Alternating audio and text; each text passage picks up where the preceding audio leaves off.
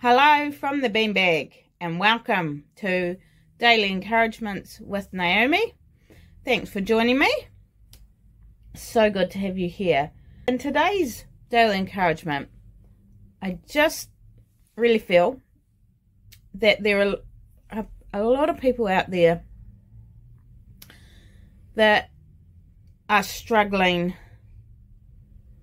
with hope that things will get better. I think, you know, the last couple of years for everyone have been hard. And in some ways it appears that things are still hard. And so I think a lot of us have lost hope. And today I want to encourage you that there is hope. Hope in Jesus. The way to know that hope is through relationship with Him.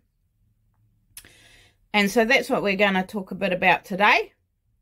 So let's go on this journey together and find out how you can have hope and not just hope for now and for little things, but eternal hope and hope for everything.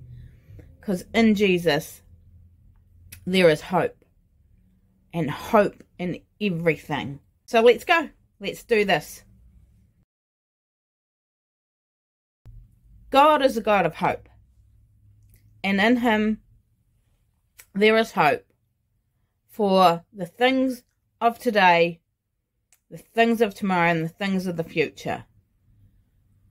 When you are in relationship with Jesus, when you've given Him your life, he replaces hopelessness with hope. He gives us hope. And I know that in my own life, He has given me hope.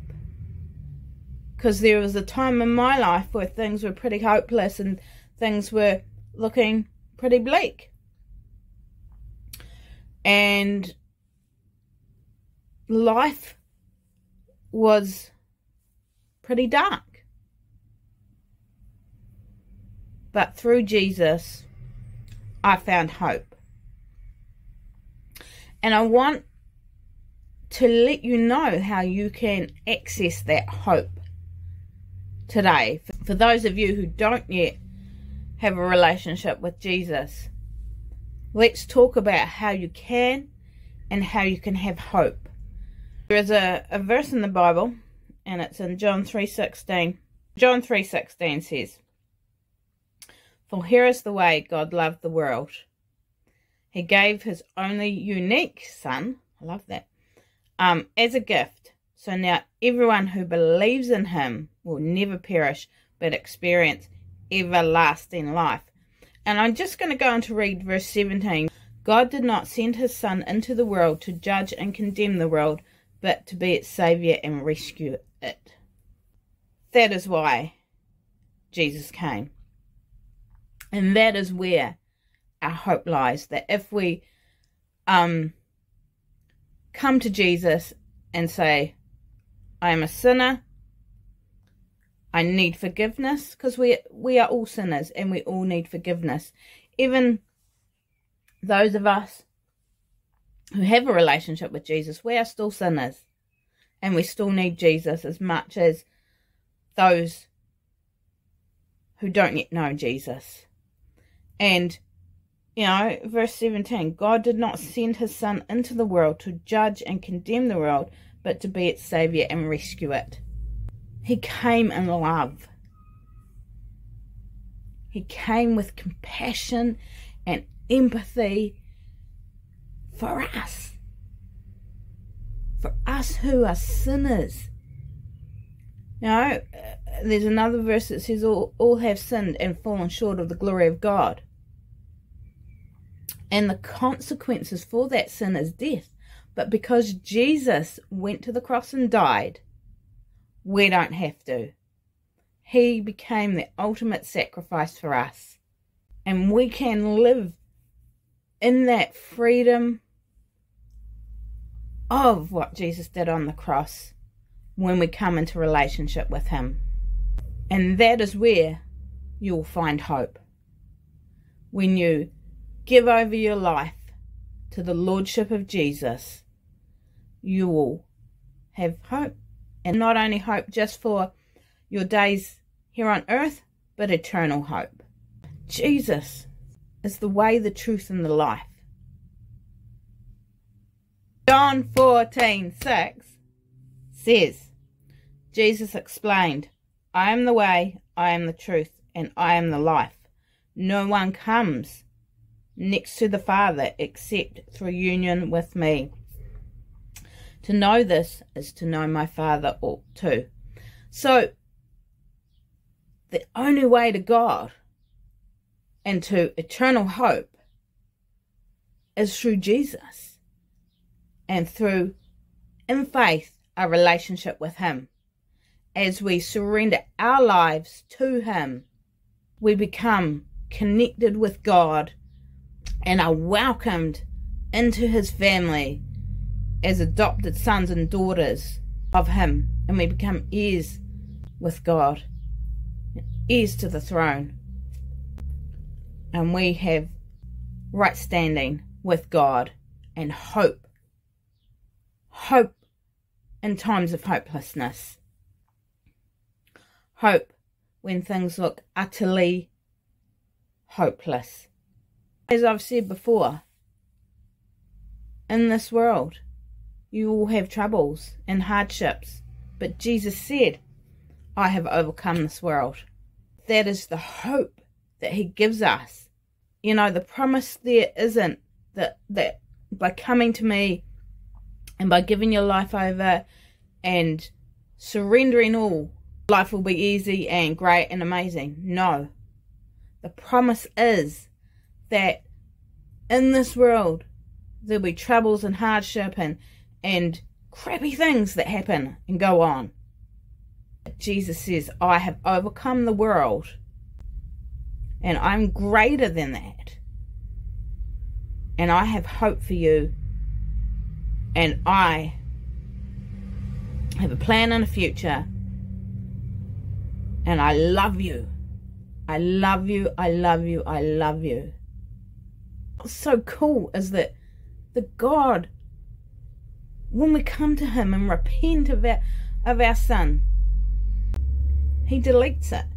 He doesn't go, Yes, I forgive you, and then weeks or months later, He doesn't go, Oh, hang on a minute. Hang on a minute. Hang on, hang on. Remember this? Remember when you did this? Remember when you lied to that person or when you stole some money or you know, he doesn't sit there with his big list of of sins that we've committed. Because Jesus went to the cross for those sins. Sins of the past, sins of the present, and sins of the future.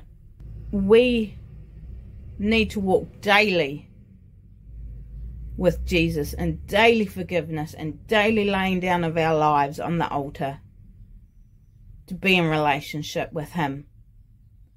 Because it's relationship. It's not about religion. It's not about, um, you know, once saved, always saved. No, it is about daily laying down of our lives and daily relationship with Jesus and daily forgiveness and daily repentance. Um, because we we all we all screw up every day. We all fall short of God's standard. But God sent Jesus to the cross to bridge that gap between us and Him so that we can be in relationship, live in hope. Hope that when we walk through hard stuff, Jesus has got our back and he's walking with us. And at times he's carrying us because it's too hard for us to put one foot in front of the other. Those times, Jesus carries us and gives us hope. It's of heartache and pain. Jesus comes and gives us hope. So, if you are feeling like there is no hope for you and you are feeling hopeless, please reach out and let, let me introduce you to Jesus. He makes life so much better. And he just, he just carries it all for us. He helps us walk every day because he knows how hard it is. Remember today that you are unconditionally loved by God.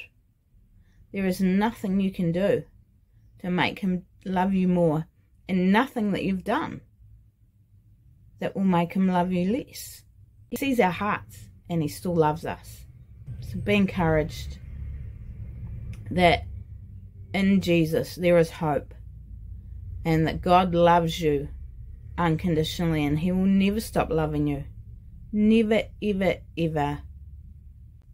He's a God of hope and a God who longs for relationship with his children, no matter how far they have walked away from his laws and teachings and commands He still loves you and he will forgive you. He's a God of forgiveness. So be encouraged. And if you want to know more about having a relationship with Jesus, either drop it in the comments and we can sort that out. Or reach if you have friends family that are Christians, reach out to them and let's get a hope that lasts forever. Thanks for watching. See you next time. Love you. Bye.